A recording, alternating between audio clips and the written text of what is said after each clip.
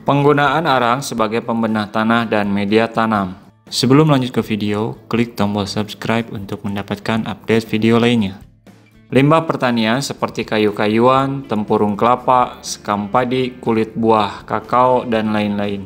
Pembakaran tidak sempurna dilakukan dengan menggunakan alat pembakaran atau pirolisis suhu sekitar 250-350 derajat Celcius selama 2-3,5 jam sehingga diperoleh arang yang mengandung karbon tinggi dan dapat diaplikasikan sebagai pembenah tanah. Arang merupakan pembenah tanah alami berbahan baku hasil pembakaran tidak sempurna atau pirolisis dari residu atau limbah pertanian yang sulit didekomposisi.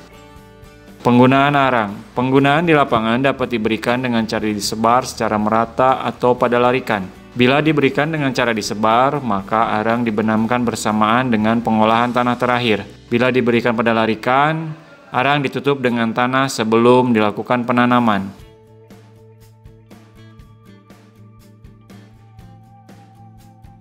Manfaat arang 1. Meningkatkan pH tanah dan KTK tanah 2. Meningkatkan kemampuan tanah meretensi air dan hara. 3. Meningkatkan kandungan C total tanah. 4. Dapat mengurangi laju emisi karbon dioksida.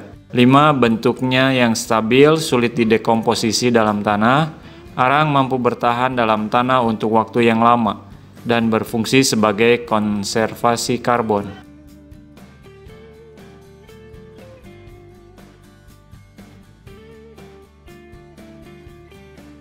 Semoga informasinya bermanfaat.